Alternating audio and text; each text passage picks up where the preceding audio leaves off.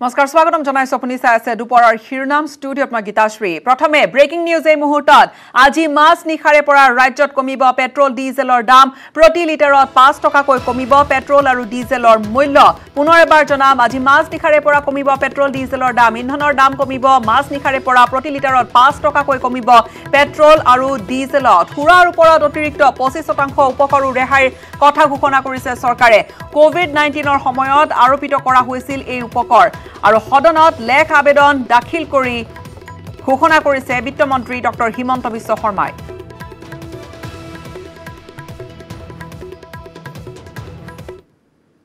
অধ্যক্ষ মহোদয় কভিড ঊনৈছ মহামাৰী সংকৰণ যেতিয়া তুংগত আছিল তেতিয়া আমি পেট্ৰল ডিজেল আৰু সুৰাৰ ওপৰত অতিৰিক্ত উপকৰ আৰোপ কৰিছিলোঁ।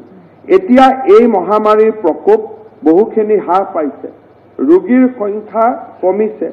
কভিড ঊনৈছ ৰোগ পৰীক্ষাৰ ক্ষেত্ৰত প্ৰয়োজনীয়তাও হ্ৰাস পাইছে।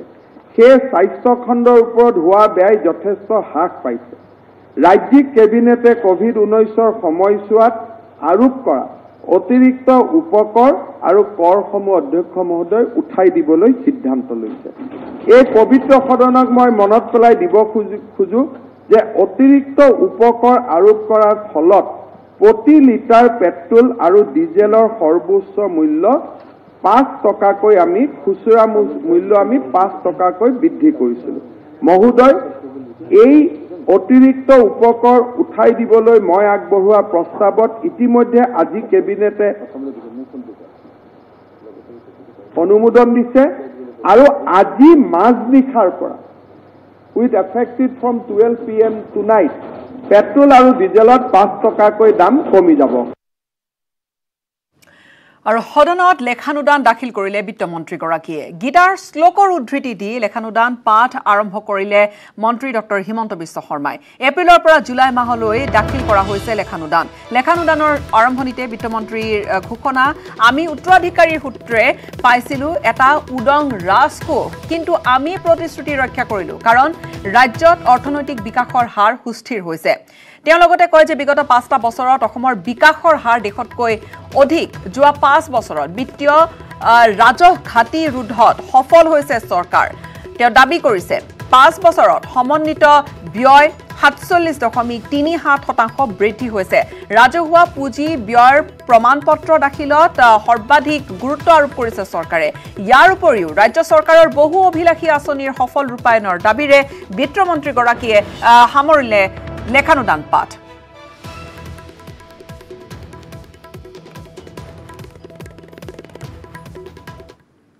উত্তৰাধিকাৰী সূত্ৰে এনে এখন ৰাজ্য লাভ কৰিছিলোঁ য'ত ৰাজকোষৰ অৱক্ষয়লৈ গতি কৰিছিল। চৰকাৰী কৰ্মচাৰী দৰমহা দিবলৈ প্ৰয়োজনীয় পুঁজিৰ অভাৱ ঘটিছিল। দুহেজাৰ পোন্ধৰ ষোল্ল বৰ্ষৰ প্ৰস্তাৱিত বাজেটৰ বিপৰীতে সৰ্বমুঠ ব্যয় হৈছিল ছাপন্ন শতাংশ। পৰিণতি এই হৈছিল যে ৰাজ্যখনৰ মুঠ বাজেট প্ৰায় ত্ৰিছ হাজাৰৰ পৰা বিয়াল্লিছ হাজাৰ কোটি টকাৰ মাজতে দোলায়িত হৈ আছিল। দুহেজাৰ ষোল্ল সোতৰ বৰ্ষৰ পৰা দুই হাজাৰ ঊনৈছ বিছ বৰ্ষৰ এই সময়ছোৱাত আমাৰ মুঠ ৰাজ্যিক ঘৰুৱা উৎপাদন বৃদ্ধিৰ হাৰ আছিল সাত দশমিক এসত্তৰ শতাংশ। উক্ত সময়ছোৱাত এই বৃদ্ধি স্থিৰ মূল্যত দুই লাখ দুই হাজাৰ আশী দশমিক পঁচাশী কোটি টকাৰ পৰা দুই লাখ আঠষষ্ঠি হাজাৰ সাতশ ছিয়ান্নব্বৈ দশমিক পোন্ধৰ কোটি টকালৈ।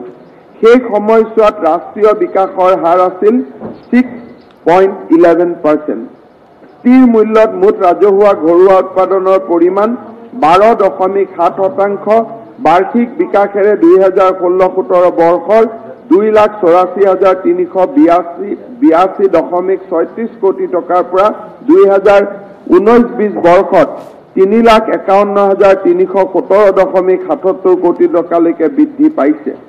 এই সময়ছোৱাত সৰ্বভাৰতীয় বিকাশৰ হাৰ আছিল দহ দশমিক বাসত্তৰ শতাংশ। মহোদয় এই সময়ছোৱাত ৰাজ্যখনৰ জনমূৰিয়াই দুহেজাৰ ষোল্ল সোতৰ বৰ্ষৰ ছয়ষষ্ঠি হাজাৰ তিনিশ ত্ৰিছ টকাৰ পৰা দুই হাজাৰ ঊনৈছ বিছ বৰ্ষত নব্বৈ হাজাৰ ছয়শ বিৰান্নব্বৈ টকালৈ বৃদ্ধি পাইছিল। পঞ্চায়তৰ বিত্ত আয়োগৰ চূড়ান্ত প্ৰতিবেদনত দুই হাজাৰ একৈছ বাইছ বৰ্ষৰ বাবে অসমলৈ কেন্দ্ৰীয় কৰৰ অংশ হিচাপে বিশ হাজাৰ ছশ এক কোটি টকা অনুমোদন জনোৱা হৈছে। এই অনুমোদনতে মাজুলীৰ সীমামূৰীয়া পথ তথা মথাউৰি নিৰ্মাণৰ বাবে এহেজাৰ পঁয়সত্তৰ কোটি টকা আৰু কামাখ্যা মন্দিৰৰ সামগ্ৰিক বিকাশৰ বাবে তিনিশ কোটি টকাৰ অনুদান ধাৰ্য কৰা হৈছে।